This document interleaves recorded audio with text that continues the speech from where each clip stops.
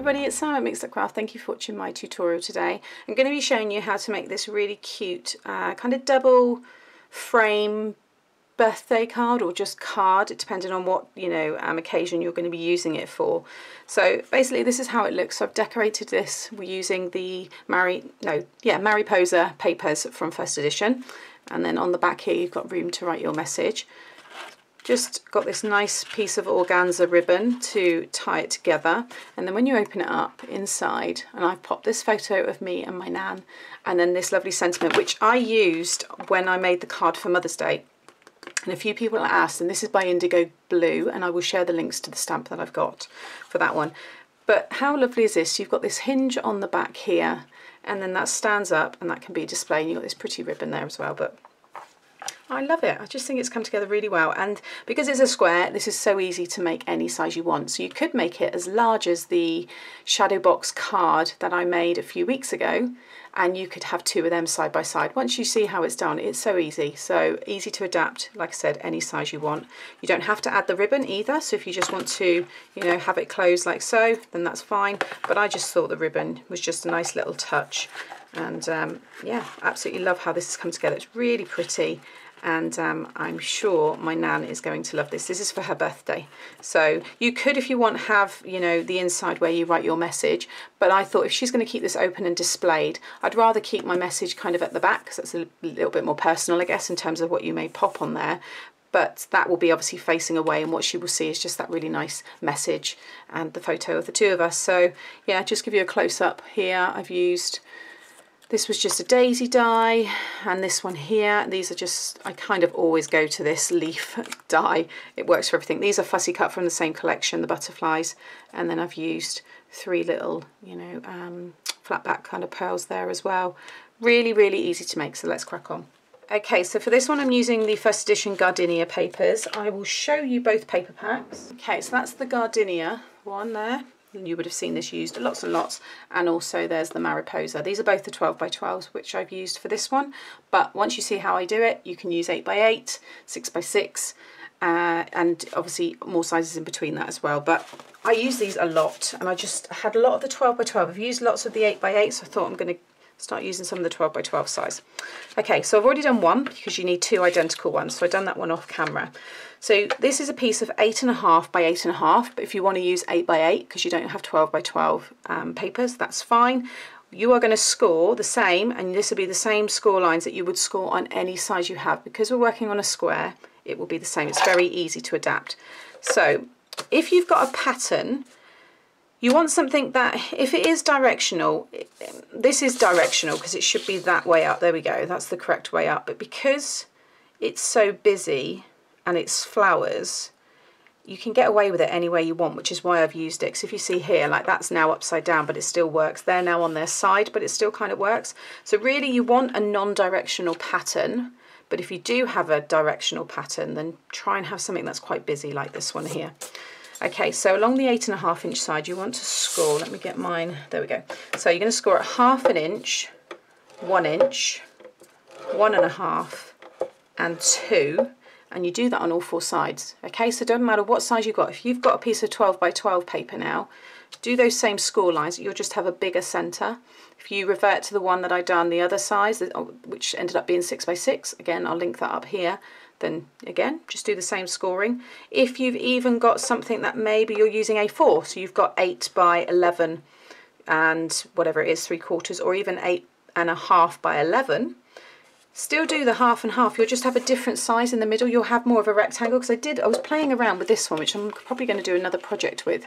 Now this, I can't remember what the original cut size was. Let me just double check in case some of you like this taller version. So this is a piece of 8 by 12 and you'll get that shape by scoring at half an inch on all four sides. So again, watch this tutorial and it's very, very easy to adapt.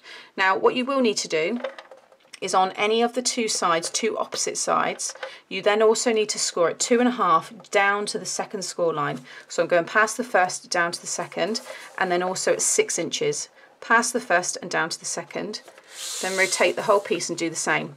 So two and a half down to the second score line and six down to the second score line. You'll see that better when we cut it all out, but that will work the same as well. It doesn't matter whether you do it if you've got more of a rectangle shape, if you're using, like I said, eight and a half by 11 or A4, it doesn't matter if you do that on the shorter side or the longer side. It makes no difference okay? So that's what you want to do and you want to do that twice on two identical sizes. Now also you may want to do more pieces. So you can have this as like a concertina kind of picture frame. So again once you see what I do it's very easy to adapt. So now we're going to go and fold and burnish all of these score lines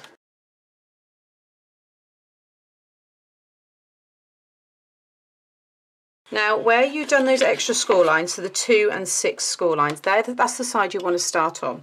And what you're going to do is you're going to cut down those short score lines. So where you just scored, so say this is the one that I scored at two and a half, just down to that second score line.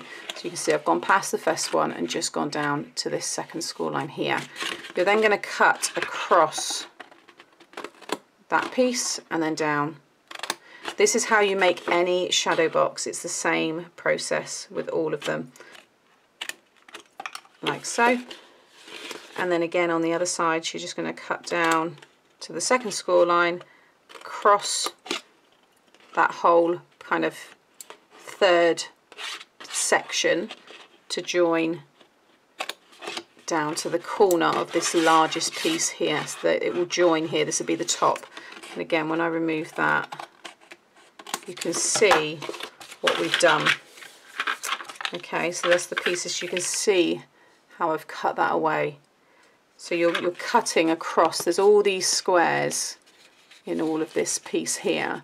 So you're cutting down two squares. Might be better if I turn it over actually. Yeah, there we go. So you can see what you're doing. You're cutting down two squares, cutting right across from one corner to another of the third square to then join the bottom of the fourth. Okay, so you can just see all those squares, how it's all made up. Then rotate it, because obviously that's now where you've done those other score lines that we did. And again, just cut down, cut across, and cut down. The more and more you do this, the more easier it will become. Um, and it's one of those things, I've done so many now, I can kind of do them with my eyes closed. And um, they're easy, like I said, to adapt to any size you want. So let's remove. And there we have it. So that is the shape that you want. I think I've got a template from another one. If not, I'll draw up a template for this and I'll pop that on my blog as well, just so you can kind of see um, it better. So you want to do that twice, so you've got two of those, and then we're going to go and stick it all down. So I'm going to use my wet glue. And first of all, I'm going to stick the two straight sides. So the last, flip it over, okay, so we're now working on the inside. The last one here, I'm going to pop some glue on. If you've never made one before, wet glue is probably best because you've got a little bit of wiggle room so you can afford to kind of lift it up if you stick it down wrong. Then you want to fold it in half. So you've got two on this side and two on this side. And then fold that whole piece in. And fold it right over. Use your bone folder. Make sure that's all nicely spread out and all nice and flat. And then when you pull it back up again, the piece with the glue is now stuck inside and it gives you that perfect tube. And it's the easiest way to get these perfectly straight because I've had many people before, even before I've done tutorials for shadow boxes saying, you know, please do a tutorial on a shadow box. I always get them crooked or mine never line up. This is the way I've always done mine and it's never failed. So again, fold it in half like so and then fold the whole piece over. Again, spread that all out. You don't need a lot of glue because obviously what you don't want happening at this point is too much glue on that one half that it's actually, you know, oozing out onto the other half and then you can't lift this piece up. So don't go crazy with the glue. And if you're just using double-sided tape, then you just want to stick it along that side and that's it. Then you're going to do exactly the same with these pieces. But what I would say first of all is lie it inside like so. And if it's catching at all, on these pieces, then just trim it. Now mine there isn't, it's falling in nicely. Again, this one here, see this is, this is catching ever so slightly on this side here. So I'm just going to go in and just trim a little bit off. And because it is such a busy print, um, you know, you can get away with a lot with this. And I also say as well, they're easy to decorate and kind of hide any, again, little maybe I don't know, you know, I wouldn't say it's a mistake because, you know, it's handmade and but sometimes you might have maybe cut a little bit crooked or something. You can easily cover these up, they're great for that. So now they both sit in there without catching. And you're going to do exactly the same again. So I'm going to run some glue along this one. Again, not too much. It's only paper, we need to tack it in place. And then with this one, what you want to do is fold it in so it lines up with the last score line. This one that lines up with these pieces here, there's a score line. Line it up with that. At the same time, fold the whole thing over and you just want to kind of push it against it. So you're just going to fold it in half like so. And again, just spread that out like so, okay? And then you can fold these out and everything will all come up together eventually when we go to add some more glue in a minute, but you can see there what's happening. And then with this one here, so again, pop some glue and fold that one right over and then fold in half. So you're just folding one over this time. Again, make sure that all sticks down. Like so. So now you should have all these kind of flat, like sticking out like that. Next, we want to add a little bit of glue onto the corners of the flat sides. Okay, so not the pieces where we've cut away, but just a little kind of piece in a triangle shape, kind of like on those ones there. And then you can do this all at the same time. It's, I guess, a little bit fiddly, but it's not hard to do. You're just going to bring them up kind of all at the same time. So I've done one, and then if I bring up this side, there we go. And again, this glue dries nice and clear, so let it kind of ooze out a little bit, and then just wipe it away with your finger. But if you now hold the two sides where we've cut away, it will keep everything together, and you can, you know, kind of move it around a little bit, making sure it's all nicely lined up and then just wipe away any glue like so. And just hold that in place for a second while it all sets. Okay, so now there is that one. So you should have two, okay? Next we can just cut some mats and layers. Now I'm not going to decorate this because I don't know whether I want this to be, it might become a get well soon card, it might be I don't, I don't know, happy birthday, you know, things like that, but I, I just don't know. So I'm just going to keep this one blank, but I'm going to do all the, as far as I can go really before I decorate. So the piece that I've got inside here, which is just a little mat really, just to frame your picture or your sentiment, and this is three and a quarter by three and a quarter. Now you might find it easier to stick that down first before you fold in all of your sides. So again, that's something to maybe bear in mind. You might find this next bit a little bit harder to line up um, but it's easy to do obviously before we fold in those sides. So I'm just going to bring this one in and because it's plain it doesn't matter which way. But I just want to make sure I get an even white border there. And I've popped that one in quite easily but some of you you know might struggle a little bit with that. So do that beforehand might be best. Then we've got our hinge. So this piece here is a piece of one by four and a half I believe. Yep so along the one inch side, you just want to score it half an inch all the way down and just fold that in half. Okay, so I'm just going to make sure it's all nicely burnished. Now, I find it easiest to do one piece at a time. What you don't want to do is fold these up together like so.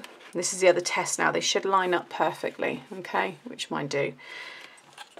You don't just want to stick that right down flat because when you go to open it, it's going to put strain on the hinge and it'll probably end up ripping away or showing off glue and stuff.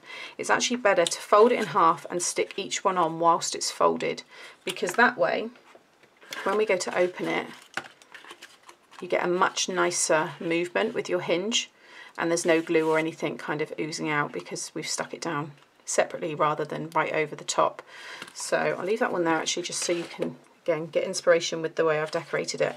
So I'm going to just use some of my red tape here. So flip it over and I'm just going to pop some kind of focusing on more of the outer size outer side of the of the um, cardstock rather than the score line okay so just trim off that and again pop another piece on that side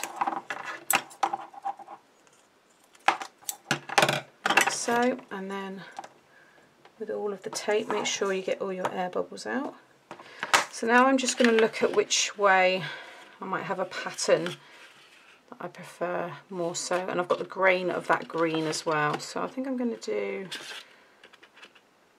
I think I'm going to do that way. Okay, so this is going to be the back. This is my hinge. So just hold them up there. So take the backing off of both, but I'm only going to stick one down at a time. So just leave that one there for a moment. So this one here, you're going to stick it down. It should perfectly, because it's the same height. Like so. If you're using wet glue, and obviously it might be a bit easier because you'll be able to move it around a bit. Like so. Then fold that one over. And don't don't go and stick it over like that. You want to stick it when it's actually open. So fold this piece now back and then stick this down. And because I didn't put the tape closest to the folded side, I haven't got any glue or anything oozing out. And now I can just go in the back there. I've got a much nicer hinge inside there. Can you see that really neat finish? You wouldn't have got that if you'd stuck it down like so and use wet glue or whatever and make sure you keep your sticky tape away from that folded side. But you get a much nicer finish then. I think that looks looks very professional. So there is that piece. Now we just need to finish with the front and the back. So I've got these two pieces here. So this one is going to go on the front because I'm then going to do another decorative layer or something like this where I've got plain white and then I've stamped my message. So you can see the purple piece there. That's this green piece here. So I know we're covering a lot of the pattern but uh, you know it's more about the inside. So this is four and a quarter by four and a quarter. You want two pieces one to go on the front and one to go on the back. Now just looking I think I went a bit smaller there. I think that was actually four by four. So it's up to you. Four and a quarter by four and a quarter or four by four because you can see a little bit more of the pattern there. But again I'm going to be decorating this with lots more so it doesn't really matter. Again I want to make sure I've got my grain of this cardstock going the right way.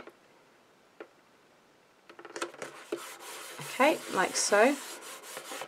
And then you would put another layer on top of this which will either be um, 4 by 4 or three and three quarters by three and three quarters depending on what you've first done this piece as okay? So it's entirely up to you.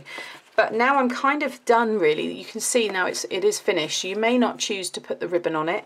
If you do want to add the ribbon then you want to stick the ribbon down now with some um, I'd use a wet glue or I'd use a strong red tape and then you will put your other mat or layer over the top of that. And like I said this piece here is three and a half by three and a half. So stamp whatever it is you want.